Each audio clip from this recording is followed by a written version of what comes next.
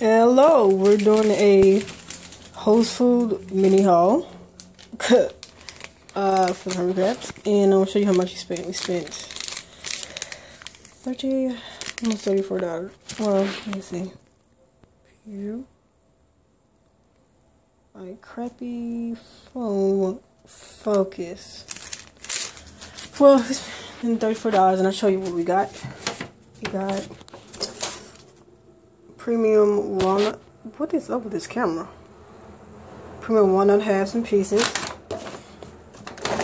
Cranberry trail mix. I've ate a lot of it. We got this Saturday. All this stuff Saturday. ate a lot of it because I was really hungry. Woke up hungry. Chewed on the crabs mix. Got apple and butternut squash baby food. Banana peach pruny coconut baby food. Mixed berry with coconut milk,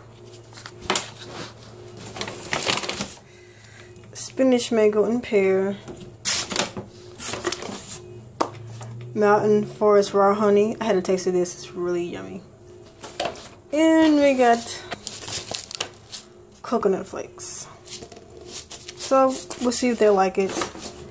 And all this was for $34. We got one, two, three, four, five, six, seven, eight. Eight items for $30. Yep. Uh, yeah. All right. Bye.